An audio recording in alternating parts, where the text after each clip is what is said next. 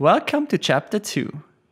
At the beginning of this chapter, we will create a little animated cartoon. As a revision from chapter 1, we first create a new object with two looks.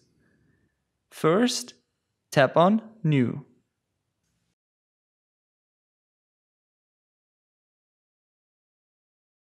By tapping on a plus symbol, we can create a new object.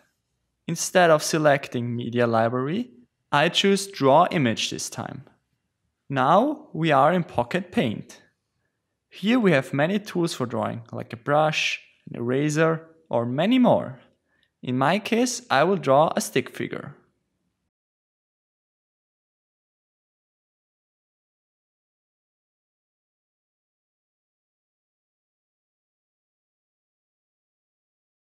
To save a drawing as an object, tap on the Pocket Code symbol in the left upper corner.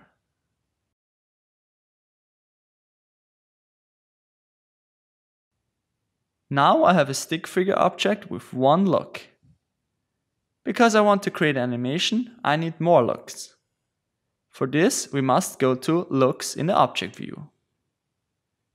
Here, we can copy our look by tapping on the button in the right upper corner.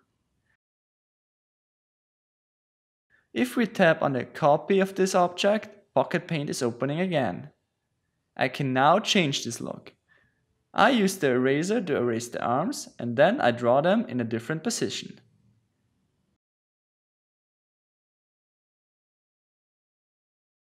To save this look, we need to tap on the pocket code symbol again. Perfect! Now we have two looks and we can start with our animated cartoon.